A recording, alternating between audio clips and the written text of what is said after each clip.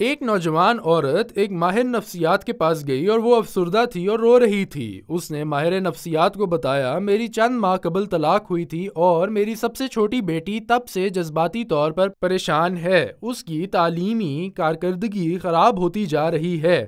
उससे भी अहम बात यह है कि वो मुझे अब अपनी माँ नहीं कहती। वो मुझसे पूछती रहती है, मेरी हकीकी माँ कौन है? मुझे किसने जन्म दिया? क्या आप मेरी हकीकी माँ हैं? वो सोने से पहले मुझे गले भी नहीं लगाती जैसे वो करती थी। वो अपने दोस्तों से बहुत दूर चली गई है और खुद को समाजी तौर पर अलग थलग कर लिया है। दर हकीकत वो अपनी गुड़िया के साथ जालिम हो गई है और वो अपने खिलौने तोड़ देती है। मैं बेबस महसूस करती हूँ। डॉक्टर ने उससे उसके तलाक और उसकी वजूहत के बारे में पूछा। खातून ने उसे बताया कि उसका शोहर उसकी बेटी के सामने उसकी तोहन करता था और उसे मारता था। इसलिए उसने उसे तलाक देने की तरजीह दी। डॉक्टर ने खातून से कहा कि वो बच्ची से मुलाकात और गुफ्तगु करना चाहते हैं। तो खातून ने रजामंदी ज़ाहिर की। दो दिन बाद वो औरत अपनी बेटी को ले आई, डॉक्टर ने उसका इस्तकबाल किया और उसने उससे उसके दोस्तों की और उसके पढ़ाई के बारे में पूछा। शुरू में बच्ची हिचकिचाते हुए जवाब दे रही थी। थोड़ी देर बाद वो आराम से बात करने लगी। फिर डॉक्टर ने उससे पूछा, जब आप अपने वालिद से हफ़्ते वार मिलती हैं तो आप क्या करती हैं? बच्ची ने जवाब दिया, मैं अपना ज़्यादा वक्त अपनी वालदा लैला के साथ गुजारती हूँ। माँ ने डॉक्टर को बताया कि लैला उसके बाप की दूसरी बीवी थी। जब डॉक्टर ने बच्ची से पूछा, ये माँ लैला कौन है? उसने फ़ौरन ऐसा जवाब दिया जिसने माँ और डॉक्टर को हैरान कर दिया। वो मेरी हकीकी माँ है जिसने मुझे जन्म दिया।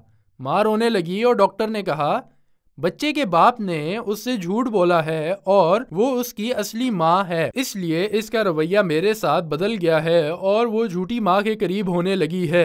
इसके बाप ने उसे माँ लैला कहने पर मजबूर किया है, जब वो ऐसा करने से इनकार करती है तो वो उसे सख्त मारते हैं और सजा देते हैं। डॉक्टर ने माँ से कहा कि वो इसे बच्ची के वालिद से मिलवाए। बाप ने मिलने से इनकार कर दिया, लेकिन माँ और डॉक्टर ने इसरार किया तो वो मान गया।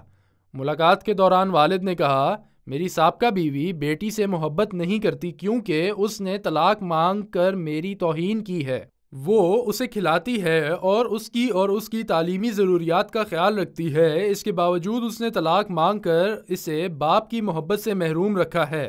यही वजह है कि बच्ची एक बेहतर माँ की मुस्तक है, जो मेरी नई बीवी है। डॉक्टर को मालूम हुआ कि तलाक ने बाप की अना पर ठेस पहुंचाई है, इसलिए उसने बदला लेने का फैसला किया। डॉक्टर ने उससे कहा, तुम्हारी बेटी का क्या कसूर है कि तुम उससे झूठ बोलते हो और उसे परेशान कर देते हो? फिर उन्होंने अलैहि वसल्लम की हदीस याद दिलाई, झूठ से बचो, क्योंकि ये गुनाहों के लिए राय हमवार करता है और गुनाह तुम्हें जहन्नम में ले जाते हैं। एक आदमी झूठ बोल बोलता है और हमेशा झूठ की तलाश में इतना रहता है कि वो अपने खुदा से झूठा बनकर मिल जाता है। वो देर तक उससे बातें करती रही और आखिरकार उसे समझाती रही कि बेटी को सच बताए और उसे अपनी हकीकी माँ की इज़्ज़त दिलाए, कहीं ऐसा ना हो कि वो बीमार हो जाए और वो खुदकुशी पर मजबूर हो जाए। और ऐसा ही हुआ, बच्ची पहले की तरह अच्छे इखलाक पर लौट आई, जब उसे मालूम हुआ कि उसकी असल माँ कौन है और वो दोबारा अपनी माँ से प्यार करने लगी।